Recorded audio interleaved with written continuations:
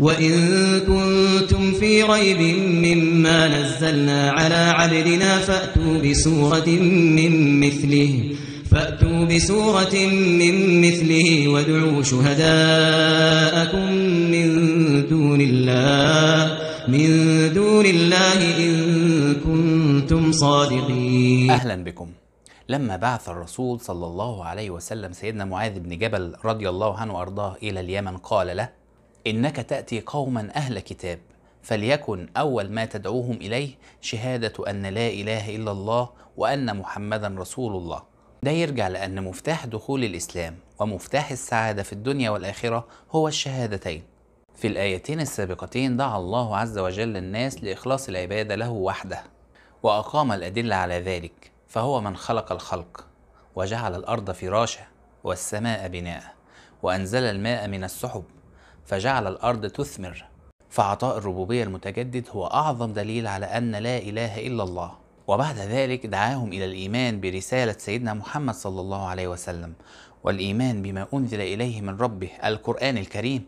وبذلك يتحقق شهادة أن محمدا رسول الله. وزي ما تعودنا دايما نقارن بين ثلاث طوائف مذكورة في سورة البقرة المؤمنون والكافرون والمنافقون. أما المؤمنون فهم مطمئنون للقرآن الكريم لا شك ولا ريب في قلوبهم. وأما الفئة الضالة والباغية ففي قلوبهم شك وريبة فهذه الآية الكريمة تتحدث إلى المعاندين لرسول الله صلى الله عليه وسلم من المشركين والكفار والمنافقين وأهل الكتاب فتقول لهم ها أنتم تعلمون نشأة الرسول الكريم صلى الله عليه وسلم بينكم فهو لا يقرأ ولا يكتب وليس بشاعر. وأنتم العرب أهل الفصاحة والبلاغة والشعر فالتحدي قائم بيننا وبينكم.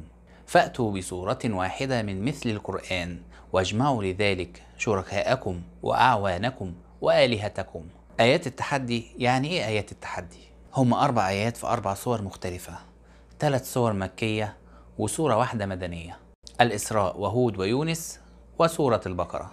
وخلي بالك إن في تدرج في التحدي من أعلى إلى أسفل. قال الله تعالى قل لئن اجتمعت الإنس والجن على أن يأتوا بمثل هذا القرآن لا يأتون بمثله لا يأتون بمثله ولو كان بعضهم لبعض ظهيرا. فالتحدي هنا لمشركي مكة أن يأتوا بمثل القرآن. فلما لم يستطيعوا خفف الله التحدي إلى عشر صور من مثل القرآن في سورة هود. قال الله تعالى أم يقولون افتراه قل فأتوا بعشر سور مثله مفتريات وادعوا من استطعتم وادعوا من استطعتم من دون الله إن كنتم صادقين. طيب وبعدين؟ فشلوا مرة أخرى فخفف الله عز وجل التحدي إلى سورة واحدة مثل القرآن وذلك في سورة يونس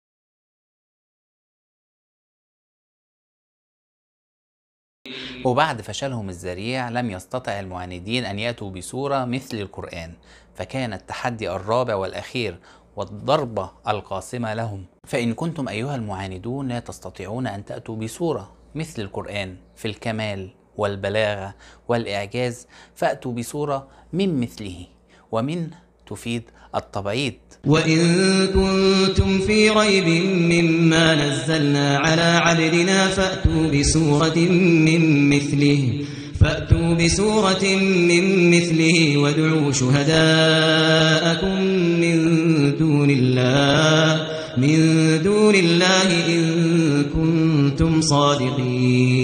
ريب معناها شك. كلنا طبعا نعرف سورة القدر. قال الله تعالى إنا أنزلناه في ليلة القدر. وفي هذه الآية الكريمة نزلنا على عبدنا. فما الفرق اللغوي بين نزلنا وأنزلناه؟ المقصود بأنزلناه نزل من اللوح المحفوظ إلى السماء الدنيا في بيت العزة. فما هو بيت العزة؟ كل سماء من السماوات السبع فيها بيت لله تتعبد فيه الملائكة. عندنا في السماء السابعة البيت المعمور وفي السماء الدنيا بيت العزة وفي ليلة القدر وفي رمضان. وإكراما لهذا الشهر نزل القرآن الكريم كاملا من اللوح المحفوظ إلى السماء الدنيا. أما نزلنا في هذه الآية الكريمة فمعناها أنه نزل على دفعات فالقرآن الكريم نزل منجما حسب ما تقتضيه الحاجة. أما كلمة عبدنا ففيها تشريف للرسول صلى الله عليه وسلم بإضافته إلى الله عز وجل. خيره ربه بين أن يكون ملكا رسولا أو عبدا رسولا فاختار أن يكون عبدا رسولا صلى الله عليه وسلم. وده كمان في تذكير لأمته حتى لا يغالوا في تقديسه وتعظيمه وعبادته مثلما فعل اليهود والنصارى. وده غير إنه كمان بينفي أي تدخل للرسول صلى الله عليه وسلم فيما أنزل عليه من القرآن الكريم. مثبت لينا جميعا إن الرسول صلى الله عليه وسلم قبل البعثة لم يسجد لصنم قط فهو عبد خالص لله عز وجل. عندنا سورة نكرة تفيد العموم. مش شرط تكون سورة كبيرة زي سورة البقرة يكفي أي سورة ولو حتى أقصر سورة اللي هي سورة الكوثر. ومعنى شهداءكم أعوانكم وشركاءكم وآلهتكم. وأخيرا يسأل باستغراب الشيخ الشعراوي رحمة الله عليه كيف يكذبوه وهو الصادق الأمين. هل من الممكن أن يصدق الرسول معهم ويكذب على الله؟ أكيد مستحيل جزاكم الله خيرا